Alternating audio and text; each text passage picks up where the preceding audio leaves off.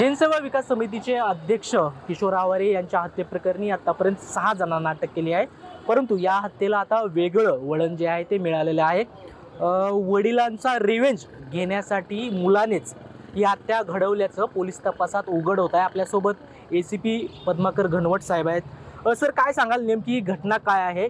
आणि कशा पद्धतीचा हा रिव्हेंज आहे? भानुदास खळदे व किशोरावरे हे जनसेवा पार्टीचे नगरसेवक होते. भानुदास खळदे यांची तळेगाव नगरपालिकेच्या ज्युरिडिक्शनमध्ये एक स्कीम चालू होती. त्यासाठी रोड करताना काही झाडांचं कटिंग केलेलं होतं. त्यासाठी त्यांनी नगरपालिकेची परवानगी घेऊन ते कटिंग केलं होतं. पण किशोर यांना वाटलं की यांनी न परवानगी घेता ही झाडं कट केले. म्हणून किशोर आवारे यांनी नगरपालिकेला अर्ज दिला होता का? यांनी इलिगल पद्धतीने झाडं कट केले तर त्यांच्यावर कारवाई करा.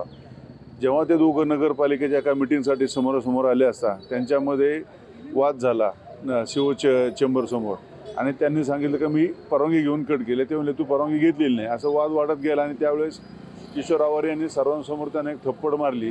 अशी तक्रार भामदास कळदे यांनी दुसऱ्या दिवशी पोलीस स्टेशनला केली होती. त्याबाबत आम्ही हा दखलपात्र गुन्हा नोंद करून किशोर आवारे यांच्यावर प्रतिबंधात्मक कारवाई केलेली होती.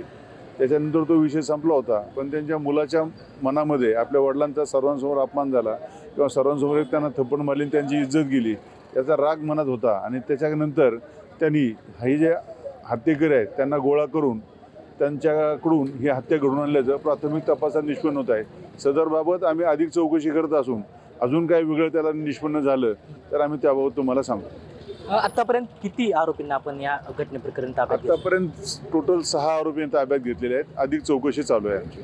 तर आपण बघू शकता की वडिलांना मारल्यामुळे किशोर आवारे यांची हत्या केल्याचं सध्या तरी तपासात उघड होत आहे.